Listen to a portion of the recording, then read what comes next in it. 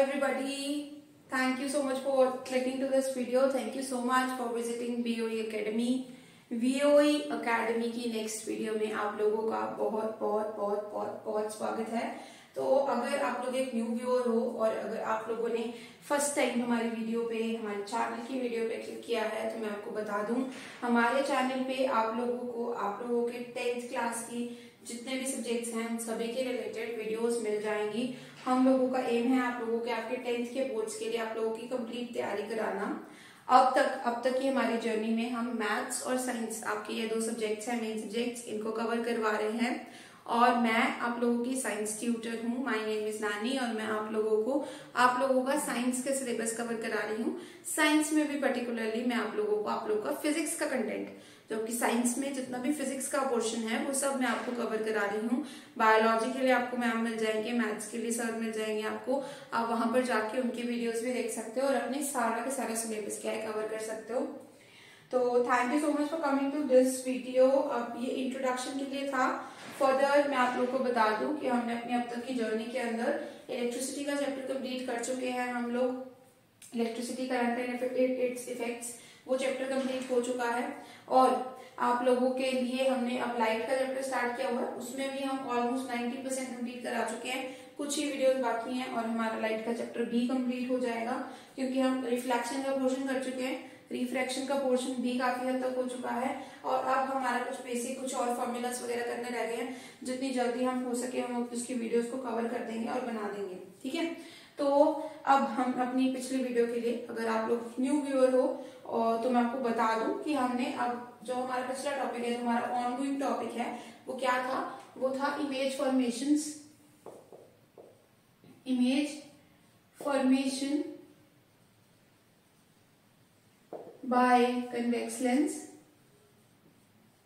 हम इस टॉपिक को कवर कर रहे थे। हम देख रहे थे कि एक कन्वेक्स लेंस से हमें कितनी डिफरेंट कैटेगरीज ऑफ़ इमेजेस मिल सकती हैं। हम ये देख रहे थे कि एक वाया एक कन्वेक्स लेंस हमें कौन कौन से डिफरेंट तरीके की इमेजेस मिल सकती हैं, ठीक है?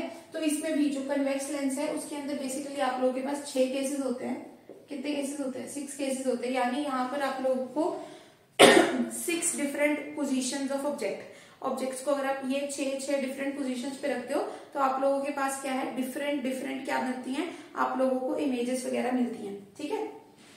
तो आप लोग अब अब तक की हमारी जर्नी के अंदर हमने चार केसेस जो हैं, वो कवर हम कर चुके हैं और अब हम नेक्स्ट आगे बढ़ रहे हैं अपने अगले केसेस की तरफ़, ठीक है? तो मैं एक, आपको क्विक रिवीजन दे देती हूँ। पुराने व्यूअर भी हो, नए व्यूअर भी हो, सबके लिए है एक क्विक रिवीजन है, जिसमें मैं क्या है आपको चारों केसेस का बता देती हूँ कि हमने ऑब्जेक्ट को कहाँ रखा इमेज हमें कहाँ मिली और इमेज की नेचर क्या थी।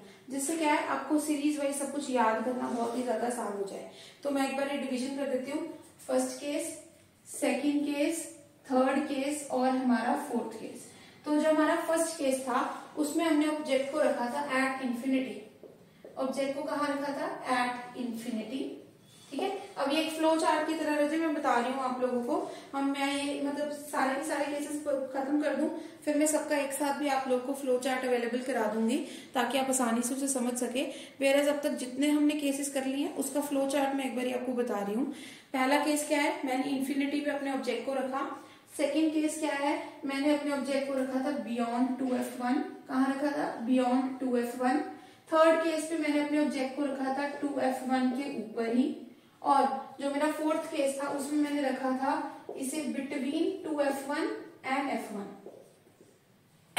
ये तो क्या था? ये ये वाला पॉइंट है, इसके बारे में बता रहा है आप लोगों को ऑब्जेक्ट के बारे में कि आपने ऑब्जेक्ट कहाँ रखा है। फिर मैं आपको एक अगला कॉलम बना रही हूँ, जहाँ पे हम देखते हैं कि हमारी इमेज हमें कहाँ ऑप्टेन अगला कॉलम हमें क्या बताएगा? कि हमारी इमेज कैसे ऑप्टेन हुई। वैसे मैं रिकमेंड करूँगी, अगर आप लोगों ने, अगर आप वीडियो देखते साथ उसे अच्छे से रिवाइज भी कर रहे हो एक बार वीडियो पॉज करो, ये टेबल खुद बनाओ, और फिर मुझे बताना कि आप लोगों का टेबल सही बना या नहीं बना। तो अगर आप कहाँ रखोगे अपने ऑब्जेक्ट को? इन्फिनिटी पे रखोगे तो आपकी इमेज कहाँ बनेगी? एट फोकस अगर ऑब्जेक्ट क्या हुआ? इन्फिनिटी पे हुआ तो इमेज कैसे बनेगी? फोकस पे। कौन से वाले फोकस पे? एफ़ टू वाले पे मिलेगी। और अगर आपने अपने ऑब्जेक्ट को कहा रखा? Beyond two F one two F one की अगर आपने उसके पीछे रखा तो आपको इमेज कहाँ मिलेगी? आपको इमेज मिलेगी between F two and two F two यहाँ पर आपको क्या मिलेगी? आपकी इमेज फिर अगर आपका ऑब्जेक्ट क्या हुआ? एट टू एफ़ वन तो आपकी इमेज आपको कहा मिलेगी? टू एफ़ वन पे टू एफ़ टू पे सॉरी मतलब जहाँ पे टू एफ़ वन पे रखा था टू एफ़ टू पे आप लोगों को आपकी इमेज बन जाएगी। और फिर अब ये फोर्थ केस आप लोग मुझे बताओ, अगर आपने अपने ऑब्जेक्ट को कहाँ रखा? टू एफ़ वन और एफ़ वन के बीच में रखा तो आप लोगों की इमेज कहाँ बनेगी? तो आप लोगों की इमेज बन जाएगी, जैसे बियॉन्ड टू एफ़ टू। कहाँ बन जाएगी? Beyond two F two. अब ये चार केसेस है, ठीक है? जिन लोगों ने नहीं देखी है पिछली वीडियोस तो ये दो वीडियोस के अंदर हमने ये चार केसेस कवर किए हैं। तो आप पिछली दो वीडियोस देख सकते हो। और इमेज फॉर्मेशन हम करते क्या है? हम एक डायग्राम बनाते हैं। लेंस का डायग्राम बेसिकली हम बनाते हैं। और वहाँ पर हम क्या है? ऑब्जेक्ट को एक पर्टिकुलर पोजिशन पे रखते हैं और उसके कॉरेस्पॉन्डिंग हम क्या बना लेते हैं? अपनी इमेज बना लेते हैं, ठीक है? तो इन्फिनिटी पे beyond two F one two F one और टू एफ़ वन और एफ़ वन के बीच का ये केस हम कवर कर चुके हैं। फिर उसके बाद नेक्स्ट होता है इमेज का नेचर कैसा था? नेचर में बेसिकली देख लेते हैं रियल बनी है वर्चुअल बनी, या साइज़ में क्या फ़र्क था। तो अब इन केसेस में, हर एक केस में जो आपकी इमेज कैसे बनेगी? रियल और क्या होगी? इन्वर्टेड कैसी होगी आपकी इमेज रियल इन्वर्टेड रियल बनेगी इन्वर्टेड बनेगी। रियल बनेगी इन्वर्टेड बनेगी। रियल बनेगी इन्वर्टेड बनेगी। ठीक है वैसे तो मैंने ये शॉर्ट फॉर्म में लिखा है। ज़्यादा टाइम नहीं वेस्ट होगा हमारा, क्योंकि हमने हमारे बाकी के बचे हुए दो केसेस हैं, वो हम कोशिश कर रहे हैं कि इसी वीडियो में हम कवर कर लें, ठीक है?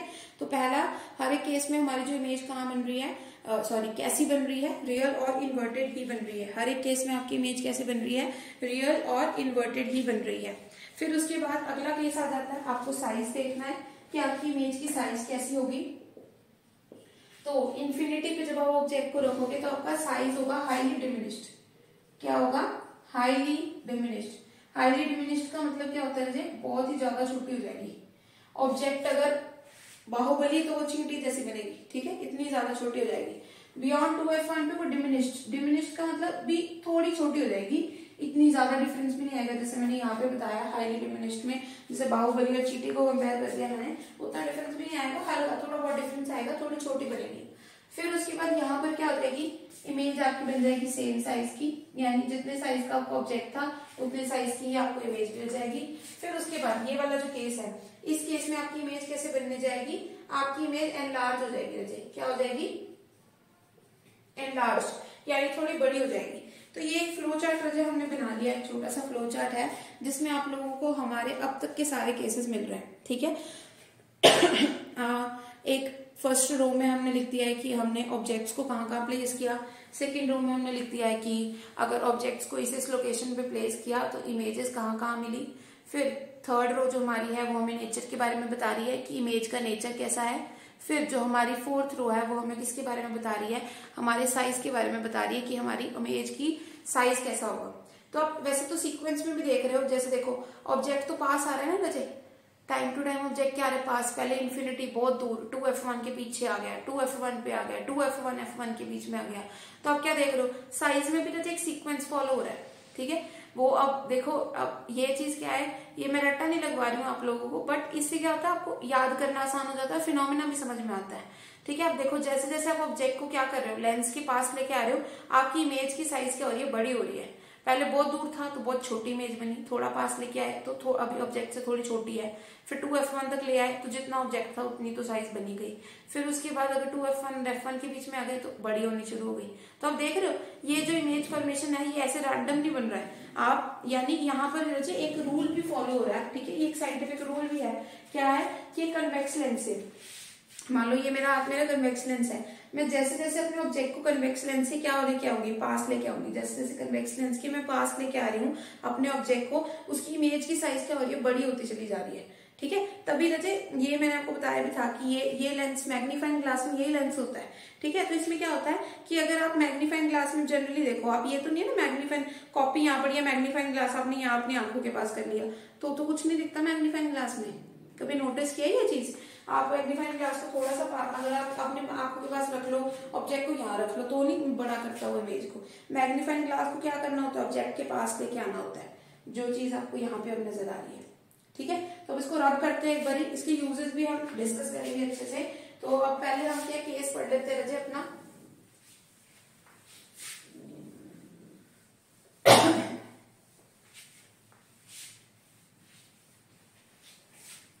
अब अगला हमारा कौन सा अपने ऑब्जेक्ट को और भी पास ले आएँगे और अब हम अपने ऑब्जेक्ट को कहा लेके आएँगे हम अपने ऑब्जेक्ट को ले आएँगे फोकस पे, कहा ले आएँगे? फोकस पे एट एफ़ वन अपने ऑब्जेक्ट को ले आएँगे।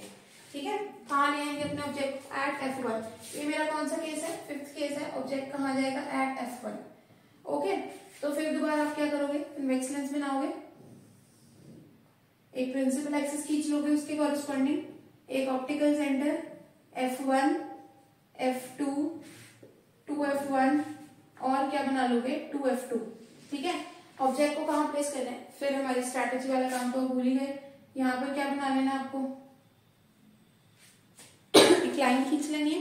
फिर आप क्या करोगे? इसको एफ़ वन पे अपने ऑब्जेक्ट को प्लेस कर लोगे। अब मैं आपको फिर एक रिपीट कर रही हूँ। अपनी हर एक वीडियो में बताती हूँ मैं। यहाँ पर रट्टे की कोई मार्क नहीं है मुझे। इमेज फॉर्मेशन के रूल्स पढ़े जो भी रूल्स पढ़े उसको इम्प्लीमेंट करो, लगाओ और अपनी इमेज फॉर्मेशन बना लो ठीक है तो अगर आप लोग एक पास्ट हो, पहले वाली वीडियोस पे अगर आपने देखी है तो अपनी इमेज फॉर्मेशन के रूल्स तो अच्छे से समझ लिए होंगे। तो मेरा तो रिकमेंडेशन आप लोगों को यही है, एक बार वीडियो पॉज कर लो यहीं पे और अपना इमेज फॉर्मेशन ना खुद बना के देखो। जितना रजे आप खुद से प्रैक्टिस करोगे ना, उतना ही आप लोगों की एफिशिएंसी बढ़ेगी। इस इमेज फॉर्मेशन को खुद बना के देखो वीडियो पॉज करो, खुद बनाओ। ठीक है? अब क्या है? अब इसके अंदर हम अब इमेज फॉर्मेशन बनाते हैं अपनी। ठीक है? जिन लोगों ने पॉज कर लिया वो बना रहे हैं। जिन लोगों ने कंटिन्यू फर्दर किया तो हम कंटिन्यू देखते हैं। हम अपने सबसे पहले क्या करते हैं, अपने ऑब्जेक्ट को कहा रख लेते हैं? एफ़ पे रख लेते हैं, ठीक है? तो सबसे पहले लिए कौन सी लेते हैं? प्रिंसिपल एक्सिस की पैरल जो जा रही है। कौन सी? जो प्रिंसिपल एक्सिस की पैरल जा रही है, ठीक है? अब ये क्या है हमारा? रूल नंबर वन हमारी रे कहा जा रही है? प्रिंसिपल एक्सिस के पैरल और जो भी रे प्रिंसिपल एक्सिस के पैरल जाएगी, वो आफ्टर रिफ्लेक्शन कहाँ से पास करेगी? वो आफ्टर रिफ्लेक्शन पास कर जाएगी एट एफ़ टू कहाँ पास कर है? एफ़ टू से पास कर जाएगी। फिर उसके बाद अगला क्या है? अब बच्चे, यहाँ पे ना, अब यहाँ पे एक पॉइंट है जो आपको नोटिस करना पड़ेगा। मेरे पास कब कौन सी रे होती है? मेरे पास तीन रे होती है। एक तो कौन सी जो प्रिंसिपल एक्सिस के पैरेलल जाए। एक मेरे पास कौन सी जो ऑप्टिकल सेंटर से पास करे। तीसरी वो जो फोकस से पास करके जाए।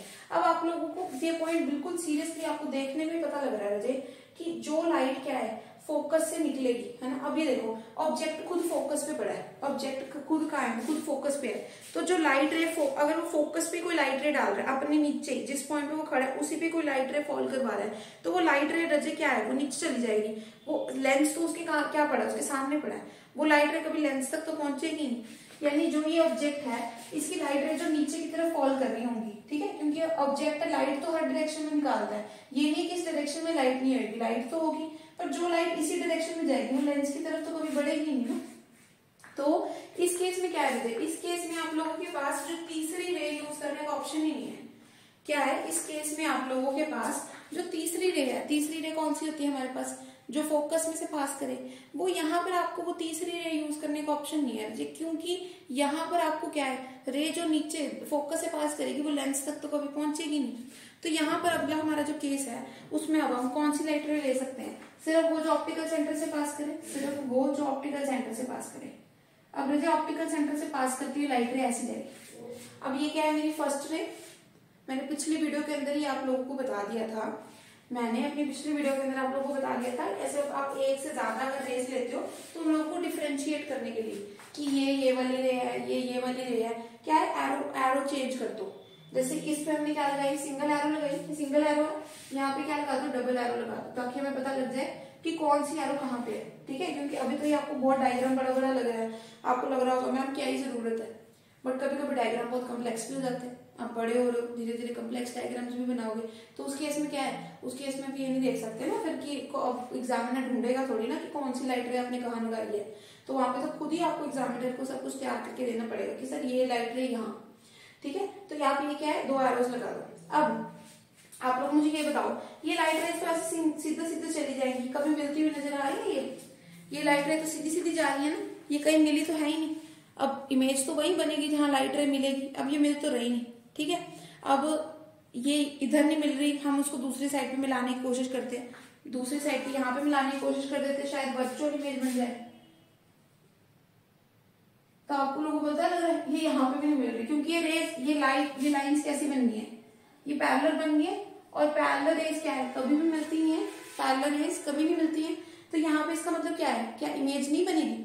इमेज तो बनेगी रजे क्योंकि हम क्या मानते हैं कि जो भी पैरलर रेज होती है ना, वो कहाँ मिलती है? दे मीट एट इन्फिनिटी हम बोलते हैं कि जब ये बहुत दूर चली जाएँगी ना, जब ये बहुत ही ज़्यादा दूर चली जाएँगी, है ना? तब ये वहाँ जाके मीट हो जाएँगी। कुछ ना कुछ होगा और ये मीट हो जाएँगी, ठीक है? तो इस केस में क्या होता है? इस केस में आप हमेशा क्या लिखोगे? कि आप लोग नेचर अगर आपको इमेज की क्या लिखनी है नेचर तो नेचर आप हमेशा क्या लिखोगे?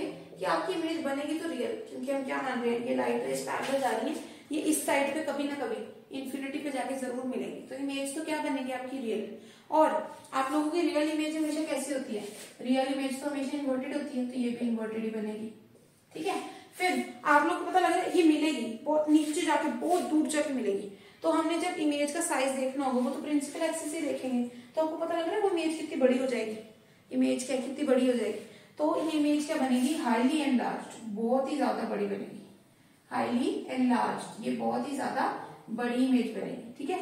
तो ये क्या है? आप लोगों की इमेज करेक्टरिस्टिक्स है। आप लोगों के फिफ्थ केस के लिए, ठीक है? आप लोगों की फिफ्थ केस के लिए ये इमेज की कुछ करेक्टरिस्टिक्स है।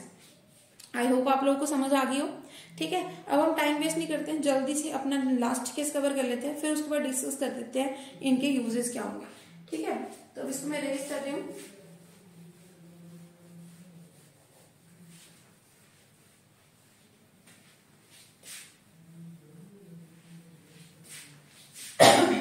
ये मैंने रेज कर दिया इसे।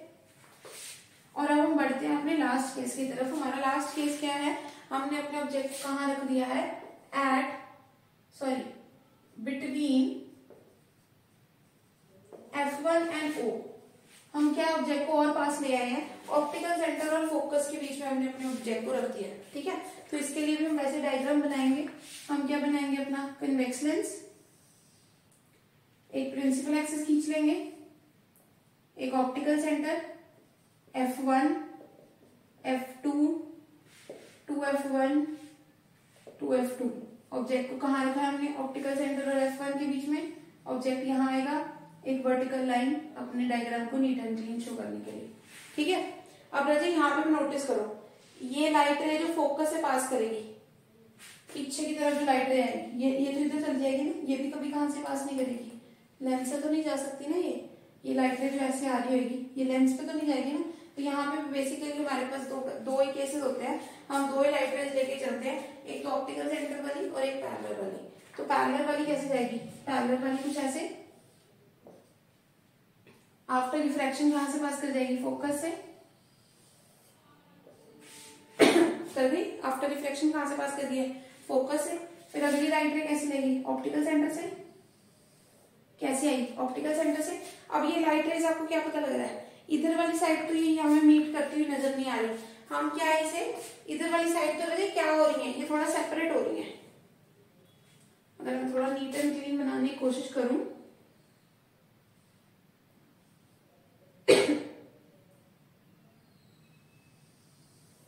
यहाँ पे जाके तो ना रज़ी खुल रही है। तो अब जैसे थोड़ा ये मैंने टेढ़ी बना दी। यहाँ पे लाइट रेस क्या हो रही है? खुल रही है थोड़ा सा। एक दूसरे से दूर जा रही है। तो अगर ये इधर से दूर जा रही है तो नज़र इधर इधर से नेचुरली पास आ रही होंगी। समझ रहे हो कि नहीं समझ रहे हो? दूसरी वाली साइड पे पास आ रही होंगी तो इस साइड पे कभी मीट कर सकती हैं। तो अगर आप मिलाने की कोशिश करोगे तो ये यहाँ पे मिल जाएँगी। बैक ट्रैकिंग करने पर ये यहाँ पे मिल जाएँगी। यहाँ पर तो क्या हो रही है? ये एक दूसरे से सेपरेट हो रही है। वेयर ये पीछे आके मिल रही है। ठीक है? और जहाँ पे मिल रही है, वहाँ पे क्या बन जाएगी? इमेज बन जाएगी। अब ये केस क्या है? जो हमारे छह केस है, उनमें सबसे ज़्यादा डिफरेंस ये केस है, क्योंकि इसमें क्या है लाइट रेस असल में मिल नहीं रही है, हमें मिलानी पड़ रही है। तो नेचुरली आपको क्या पता लग रहा है, यहाँ पे आपकी इमेज कैसी बन रही है? वर्चुअल इमेज बन रही है। तो एक बार मैं इसका नेचर लिख देती हूँ। हम जो डिस्कशन है, वो हम बाद में देखेंगे। इसकी नेचर कैसे बनेगी? ये इमेज ऐसी है, जो वर्चुअल होगी वर्चुअल इमेज हमेशा कैसी होती है? इरेक्ट देखो, ये इरेक्ट बनी है ना? इसका इसका एरो हेड ऊपर है, इसका भी एरो हेड ऊपर ही होगी तो ये कैसे बनेगी? इरेक्ट और थर्ड केस ये एनलार्ज बनी है क्या बनी है? एनलार्ज एनलार्ज का मतलब थोड़ी हमारे इमेज ऑब्जेक्ट की साइज़ से क्या बनी है? थोड़ी बड़ी बनी है। तो ये रहे हमारे छह केसेस थे कन्वेक्स लेंस के लिए। हमारा image formation by convex lens अच्छे से पूरा हो गया। नेक्स्ट वीडियो के अंदर हम कन्वेक्स लेंस की इमेज फॉर्मेशन को भी स्टडी कर लेंगे। फिर उसके बाद हम एक वीडियो रखेंगे जिसके अंदर हम जो हमारे लेंसेज हैं, उनके यूजेस को देखेंगे। क्योंकि वैसे एक बार हम पढ़ लेते हैं बट हमें यूजेस स्टडी करना भी उतना ही इंपॉर्टेंट है।